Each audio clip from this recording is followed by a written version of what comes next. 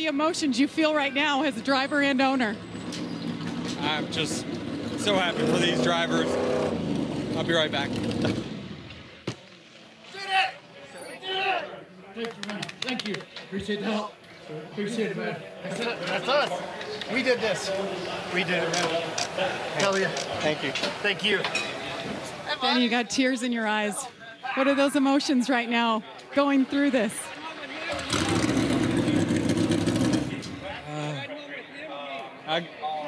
I, I, I, will take them. Party on the Denny Hamlin plane tonight? Just, uh, you know, we've, we as an organization has kind of let these guys down. I'm talking about Bubba and Kurt with so many mistakes that we've made on pit road and whatnot. And, um, you know, Bubba got let down again uh, on the last stop, but he's, uh, he was fast. I, I, thought he was a little better than I was. We we we had to go back again three times today.